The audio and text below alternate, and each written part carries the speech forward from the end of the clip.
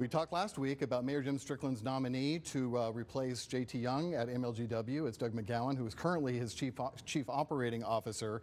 Uh, Doug McGowan, according to the mayor, is the best man for the job. No ifs, ands, or buts about it. Mm -hmm. uh, but the city council chairman, Martavius Jones, apparently is not so sure about that. In fact, he had the item pulled off the agenda for this week's council meeting.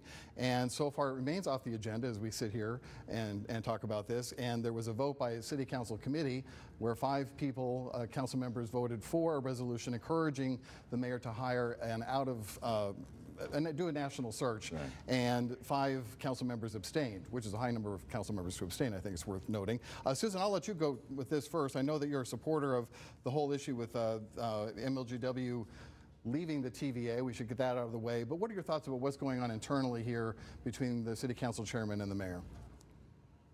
Well, it could be a test of wills, but look, let me tell you, I don't know Martavius very well. I think I've met him a few times, but his reputation precedes him. He's known as a bit of a, of a contrarian, and I'm guessing that's what's going on here. Martavius, if you'll recall, was the only vote against C.J. Davis for police chief, so his push for a national search for uh, chief for Memphis Light, Gas, and Water really isn't very surprising. Um, I don't. Um, I think it's really some political posturing on Martavius's behalf and and and a little bit of attention getting. But I think when push comes to shove, there will be not be a national search because the mayor has already said hmm. there's not going to be a national search. I mean, it, it, I don't know why some of the council members just jumped on board and supported a national search. Maybe it was a bit of a collegial type of vote or a little bit of a, a, a being deferential to, to Martavius.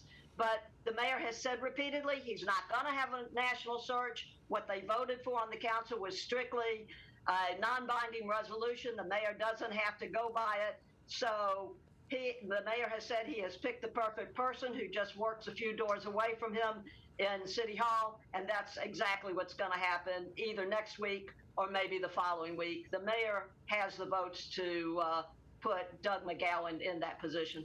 That's the thing, right, Brad? Uh, they can pass yeah. all the resolutions they want on this particular issue, but if the mayor doesn't want a national search, the, there's absolutely no teeth to that resolution. Yeah, and I, and I covered this meeting in person uh, this past week, and it was interesting that yeah there were five abstentions, but I, I really feel like in a way there were only ten council members present at the time. I really feel like in a way it was uh, they were you know, giving a little, uh, they wanted to give the respect to the full 13 member council. I don't know if this resolution is going to garner the seven votes uh, needed. I, I, know Martavius Jones mentioned in that discussion that uh, Mayor Strickland looked outside before deciding on inside for Director uh, Rallings at the time back in 2016, also pointing out that there was a national search for the Memphis Animal Services. It ended up being a, a more of a local hire. So I feel like, to Susan's point, there's a little bit of checks and balances. I know the mayor has the power to make appointments and nominations. It's the council's job to potentially push back on that. Uh, my gut is that this resolution will not get the seven votes in my uh, gut is that Doug McGowan will be the next uh, president CEO of MLGW. And I think that timing is really of the essence here because uh, potentially some out of state search could, which could last months. This also comes with the timing of the resolution, the power supplier recommendation to stay with the TVA. So I think timing of all that potentially is a factor in this as well. Yeah. Your thoughts? Yeah, absolutely. Uh, to, to, Susan's point, uh, this is a little bit of a petty politics going on here, Richard. Uh, my sources tell me that uh, uh, it, Jones and maybe some others uh, were not all that happy because the mayor didn't call them directly. and personally, and tell them what he planned to do. He announced it, and he may have called two or three council members, but he didn't call all of them. and there's also the issue around this is not much about McGowan as it is about the mayor uh, and people like Martavius Jones and maybe a couple of others who have somewhat of a petty beef with the mayor. They're just trying to make life a little more miserable for him. That's all that's going on here. It'll not go anywhere, and I believe that the mayor will get his appointment. Okay, so we all think he has the seven votes. Oh, absolutely. Okay. Absolutely.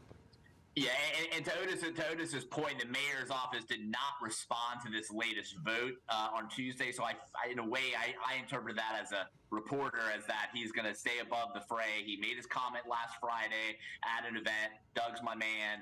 I think he's just going to let this play out potentially, and it could be bygones come next week. Okay, all right, we'll be keeping an eye on that. When we come back, we're going to talk about uh, some sports news, some big sporting news, if you're a Memphis Tigers fan for sure. Go Uh, Tigers, go. the extension of the contract of Penny Hardaway when we come back.